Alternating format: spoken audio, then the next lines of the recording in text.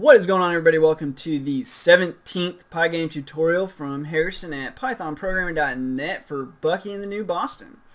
Where we left off, uh, we've got our snake running around. He's running over the apple, but he's not actually eating the apple or anything at all. So we want to start building some sort of event handling for this. And there's a few ways that we can handle the crossing over of like of boundaries, so to speak. So if you recall, I mean, we've got definitely got boundary handling for when our snake goes off of the screen, uh, but we don't have any boundary handling for, say, when the snake is crossing over the boundaries of the apple. So we definitely want to do that. And in our case, the apple just so happens to be the exact same size as our snake, right? So the thickness. Now, obviously, as time goes on, you might want to develop a game where that's not the case. So first I'm going to show you guys how we'll how we're going to do it with this specific game. But then I'm going to show you guys how to do just any boundary crossover, just so you can have an idea of how it should be done. Because we're going to get away with doing it really easy here, just because the stars have aligned and we're able to do it uh, in this game. But generally, uh, when you've got boundary crossover, your objects aren't identical in size. So First of all, our first problem here is, so I guess first, what am I what am I speaking about anyway? So when we, I want you guys to be on the same page. Um, what we're going to do is we're going to ask when the snake is crossed over the apple. But as you can see as I'm going back and forth here, the apple's location is not identical with the snake at any given time. The apple's maybe one or two pixels down. We obviously have some crossover here, but they're not perfectly overlapping each other.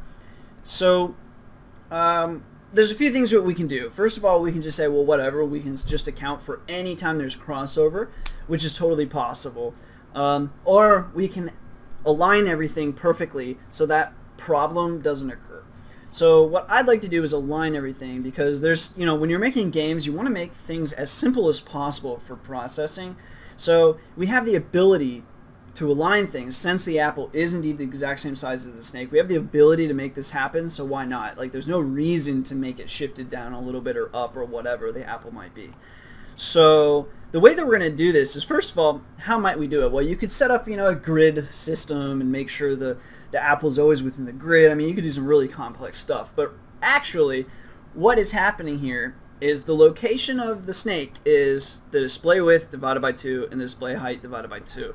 Right now, and pretty much always, the display width and height are always, always, always, I guess not always, but pretty much always going to be a factor of 10, right? So it's going to be divisible by 10, and it just so happens that our snake is 10 tall. Therefore, it only makes sense that our snake will always be in a multiple of 10 somewhere. So we need to do the same thing with our apple, but the problem with our apple is it's just a random number in between those two things, whereas our lead x and y is display width and height divided by 2.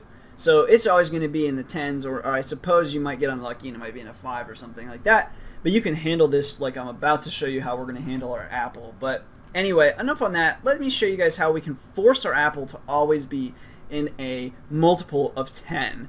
So where we're defining our apple, this is already what defines the number of our apple. Now, the best thing I think to show you guys would be um, maybe even like a separate function. I can bring up, uh, let me just bring up a Python idle real quick just to show you guys. You can follow along if you want or ju just watch because we are going to code this in a moment. Um, but I just want to show you guys what we're using in a cleaner environment before we start using it. But so when you have, um, let's say you've got a number, so we're going to say x equals 7, okay? How might we round 7 or x to the nearest 10? Well, what we would do is we would say round, uh, round, let me think here, round x and then divided by 10.0 and then times 10.0. Hold on, let's see, round x, oh, duh. Uh, there. Okay, and this is how we would always round um, x. So again, we could say x, x equals 17 now. And then we could do the same function again. And now we get 20, right? That rounds it up. And then we could say x equals 14. And then run that function again. And now we see that it was rounded down to 10. So that's how we can always round it to 10. So we're just dividing it by 10, rounding it to the nearest whole number, and then multiplying it by 10 again to get it out of that rounding. And so like, that's just one of the easiest ways to do it. So um, with that in mind, that's what we're going to do here, but it's going to be kind of, I wanted to bring it up here because it's going to look really confusing being wrapped around what's already here because this already returns just a single number. So this might return a 17, which is then being tossed into this further equation. So I didn't want it to look more confusing than it is. It's not that crazy. So rand apple x, um, we're just going to do the exact same thing, right? So we put round here. So we round all of that, and then we're rounding, um, make sure I do this right myself.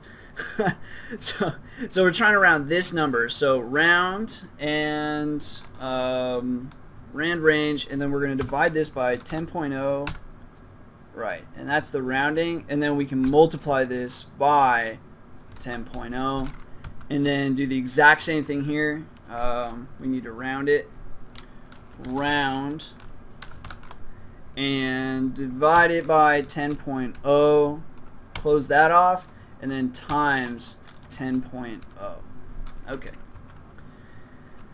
And that should uh, give our apple the location of a multiple of 10 every time, but let's make sure.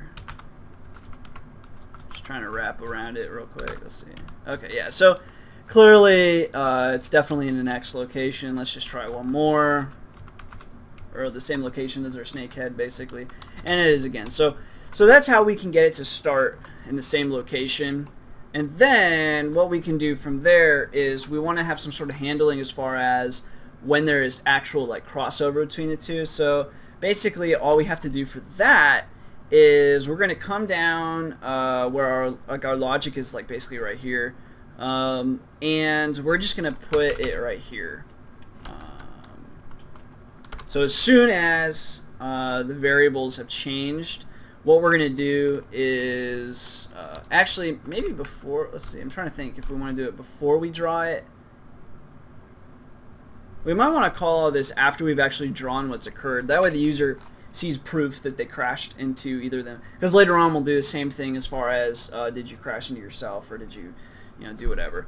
So it, I guess it, it doesn't like super matter which way you do it, but we'll just we'll put it here for now. So we're gonna say if uh, if lead underscore x equals rand apple x and lead y equals rand apple y. Um, let's just pronounce it. We'll run a function eventually, but for now we'll just say om nom nom. Okay, so we ate the apple, in theory. So what are we asking here? We're asking if the location of x is the same as the location of the apple's x, and if y is the same of the the snake's head, basically, is the same location as the apple's y. So let's go ahead and run that, make sure that that's true.